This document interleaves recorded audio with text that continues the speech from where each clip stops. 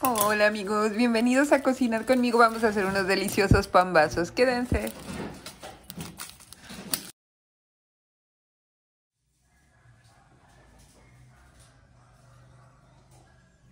Siempre comienzo hidratando los chiles como primer paso para que durante el proceso estos se vayan suavizando ya que es súper importante que su piel esté suave para que el molido quede uniforme. Amigos, deshebramos la carne, ya la tenía previamente cocida con agua y sal.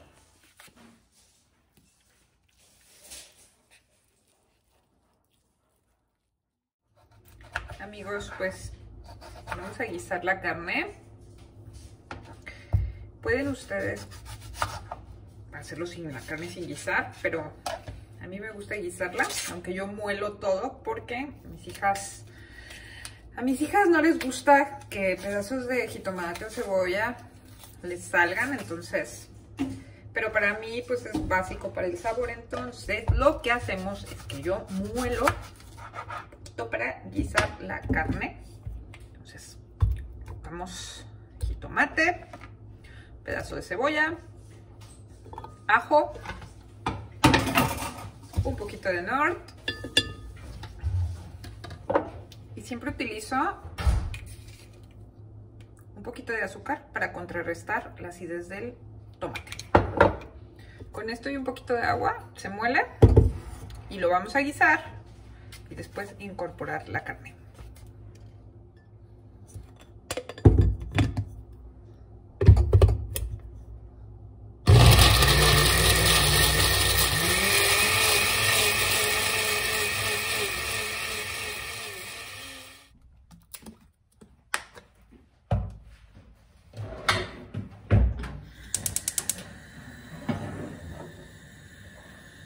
Vamos a calentar un poquito aceite. También lo pueden hacer sin aceite, ya los pambazos pues son bastante grasositos.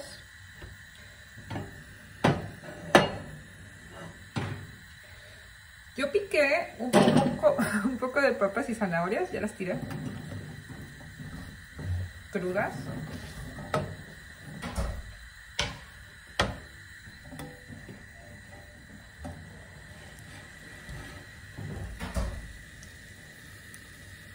Les un poco de papa y zanahoria.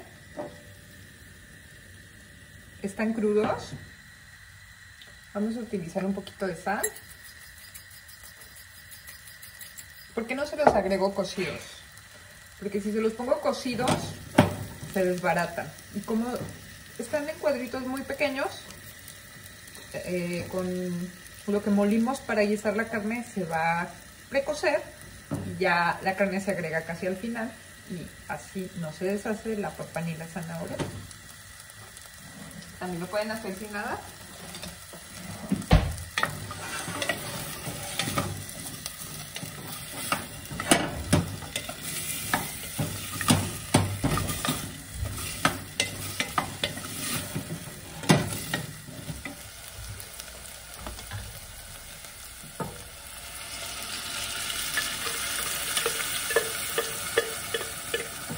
Incorporamos el jitomate. Si tienen caldo de donde cocieron la carne, pueden agregarle en lugar de agua a lo que muelen.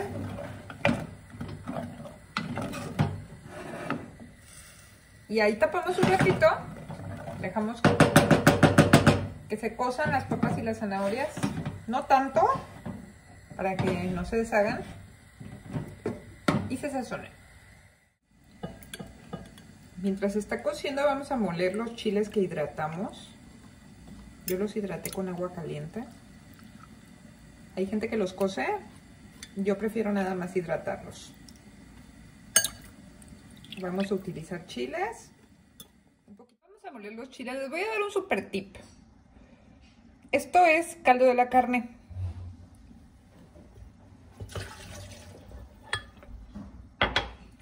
Ya le colocamos ajo y sal, un poquito de orégano. Y la, el caldo de la carne le va a dar mucho sabor para que el chilito que cubra nuestros pambazos esté más rico.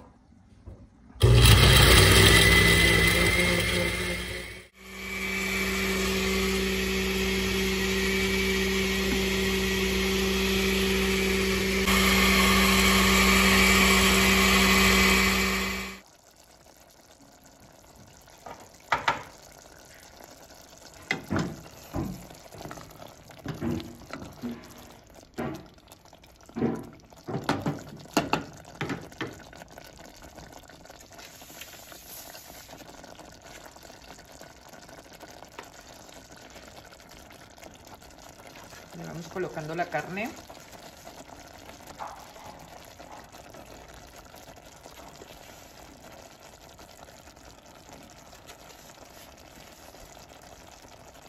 Va a quedar delicioso.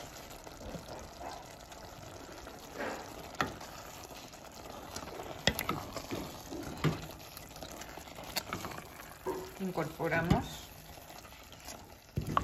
Todo el sabor de nuestro pan lo va a tener el relleno el chilito.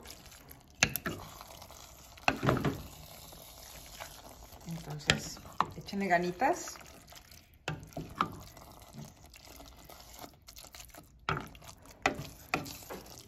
Para que el guiso que ustedes elaboren esté muy, muy rico. Si se fijan, casi se eliminó el caldo. Esa es la idea. Ya nada más dejamos... Como ya está cocida la carne, nada más tapamos poquitito para que se incorporen los sabores. Y ya, esto lo dejamos enfriar un poco. Aquí tenemos los bolillos. Son de un tamaño bastante considerable.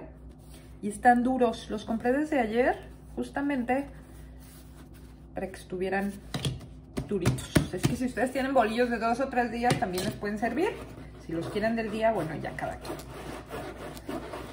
Vamos a abrir y a sacarles un poco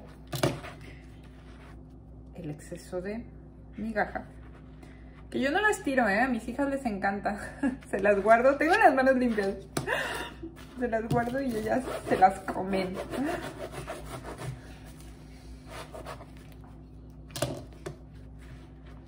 Siempre me gustan los domingos. Bueno, debo confesarles que en mi casa los domingos nunca se hacía nada. En mi casa de, cuna, de nacimiento. Mi mamá el domingo no cocinaba y el domingo era sinónimo de que ese día no iba a haber comida en casa. Comíamos lo que fuera.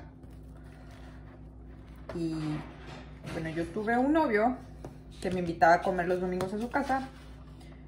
En vista de que pues yo el domingo no hacíamos nada. Y ellos acostumbraban a que los domingos pues, hacían comida rica, así como que lo que se les antojaba y era un día muy familiar. Luego cuando conocí a mi esposo en su casa eran igual, entonces me di cuenta que lo normal era que pues les gustaba reunirse los domingos y comer todos juntos. Bueno, en la casa de, de mi esposo lo hacían los sábados. Se lo quito para poner el relleno, porque le vamos a poner lechuga, crema, todo lo que se les pone. Y pues si les dejara la migaja, pues quedaría muy así, ¿no? Muy, muy gorda. Entonces, para dar espacio. Y les decía, entonces desde entonces me gusta aplicarlo en mi hogar y los sábados o los domingos nos gusta comer cosas así. En realidad toda la semana nos gusta comer rico, pero pues hay menos tiempo en la semana, entonces la comida que conlleva más tiempo estarla realizando, pues la dejamos para los fines de semana. Aquí están ya los bolillos. Virotes. No sé cómo les digan. Bueno, ya tenemos todo listo. Vamos a rellenar el pan.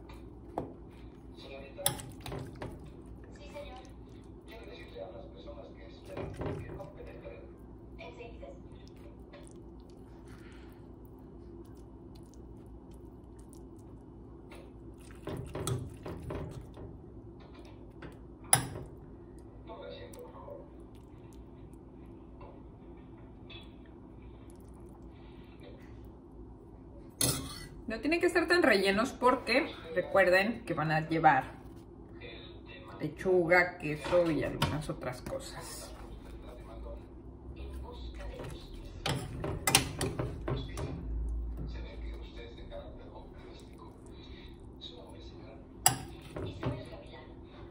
Ay amigos, se me está haciendo agua la boca. Huele esto delicioso.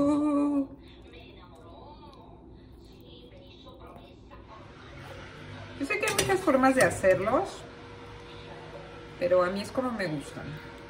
A los, los originales son de chorizo y papas. Pero, como yo aquí donde vivo no puedo conseguir chorizo que me guste, pues prefiero hacerlos de carnita. También pueden hacerlos de pollo, ay, de lo que quieran. Realmente son tortas enchiladas. Ahora sí, queso, chiles en vinagre, salsa verde, esta ya la tenía, la voy a utilizar. Crema, lechuga, perdón, la compré ya rebanada porque pues a veces vivo muy a la carrera y trato de facilitarme las cosas. A veces hago una salsa de jitomate. Si no hubiera tenido salsa verde, quizá hago salsa de jitomate. Este, pero bueno, en esta ocasión es lo que yo les pongo. Una vez que están listos, los relleno con esto y... Mmm. Ya van a ver cómo los hago.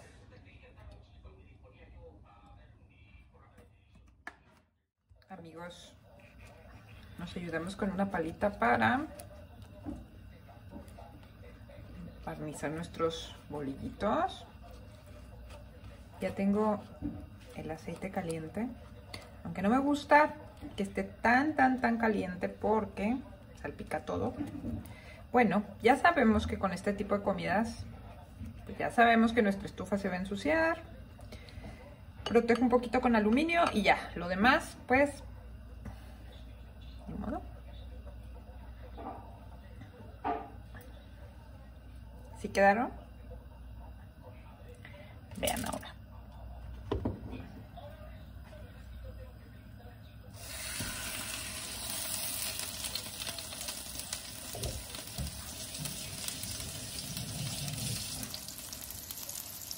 Les decía que ya sabemos que con estos tipos de comida, pues, nuestra estufa se va a ensuciar un poco. Yo protejo un poquito con aluminio, nada más. la estufa pues se limpia al final y trato de utilizar un sartén, este es mi favorito, que ya lo han visto en varias de mis recetas, eh, que no necesite tanto aceite y que no se pegue. Y lo dejamos un ratito, luego lo volteamos y así hasta que se vaya dorando, ya lo sacamos, le escurrimos el exceso de grasa y lo rellenamos. Si se fijan, este sartén está como más... Eh, em, en el fondo, la parte del centro está un poquito más alta que las orillas y eso hace que la grasa pues, se vaya a las orillas y nuestro pan vaso se fría con lo mínimo de aceite. No los dejo tanto tiempo tapados porque se aguadan. Simplemente es para evitar un poquito el salpicón. Ahorita que los volteé, los vuelvo a tapar tantito y los destapo. Ya les di la vuelta. Miren cómo va quedando doradito. Se me estaba quemando un poquito. Pero es la idea, que queden lo más doradito posible. Bueno, a nosotros así nos gusta. Aquí ya tengo lo que voy a preparar. Le quité con un poco de servilleta el exceso de grasa. Si usted está dieta, no prepare esta comida porque lo rico es la grasa, la verdad. Solamente que hay que cuidar las porciones de todas formas. Ya lo vamos a preparar. Les muestro el proceso y cómo queda.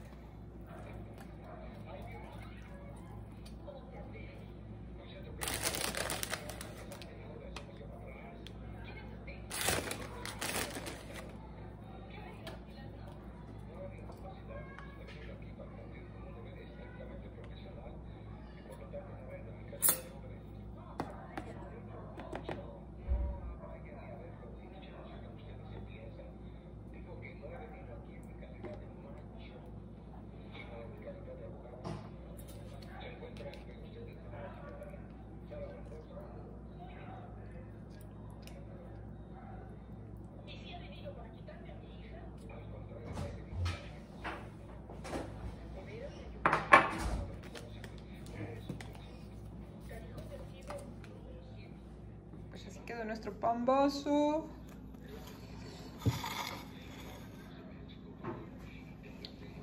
Anímense a hacerlos, suscríbanse y denle like si les gustó. Pambazos con poca grasa.